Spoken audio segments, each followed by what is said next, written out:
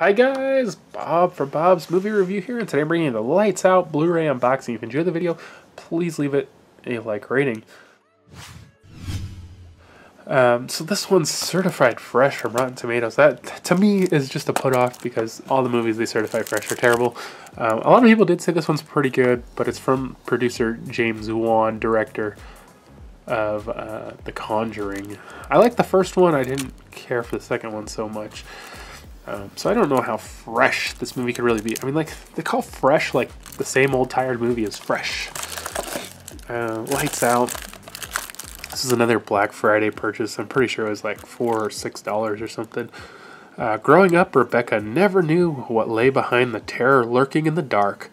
When she left home, she thought she'd also left her fears behind. Now her little brother Martin is experiencing the same unexplained and terrifying events that once tested her sanity. A supernatural entity with a connection to their mother's past is haunting them, and Rebecca gets closer to discovering the truth. Her life and the lives of those around her are in danger once the lights go out. so I guess uh, it's not really a question whether or not they're being haunted, it's why. Uh, this one's rated PG 13. Terror throughout, violence, including disturbing images, some thematic material, and brief drug content. Uh, run time on this one is a staggering, I can't find it, 81 minutes. Good run time on that, actually. All right. Uh, if you guys have seen this movie, I would love to get your thoughts in the comment section below. This one's been out for a while.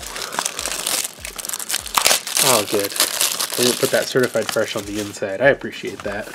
Alright, let's check out the inside. Kind of a weird greenish, bluish disc there. lights out.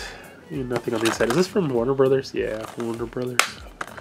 I don't know. I'm getting tired of Warner Brothers. Uh, but thanks for watching, guys. I hope you enjoyed this video. If you did, remember to give it a thumbs up. It helps support the channel, and I always appreciate it. If you haven't already, subscribe and check out the suggested videos, and I'll see you guys next time.